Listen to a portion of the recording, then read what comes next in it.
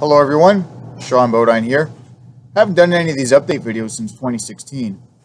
This one's going to be different. It will feature stop motion animation, which is something I want to do more often on my channel. There's a few other things I have to discuss, and you'll hear about it as you continue watching the video. First off, I want to apologize with the lack of activity on my channel. I've been pretty busy with work in college.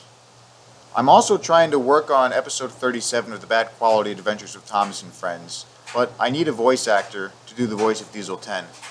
I asked Rocky Railroad Animations to do the voice for me. I'm still waiting for him to do his lines. I have also been pretty busy with FanPop and DeviantArt.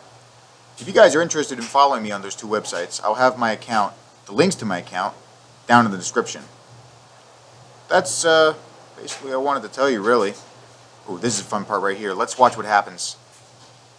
For this scene, I wanted to see uh, what kind of reaction I could get by putting in a few classic cars, mostly from the 50s, along with two Firebirds and a GT40. Well, that's it. Thanks for watching, you guys.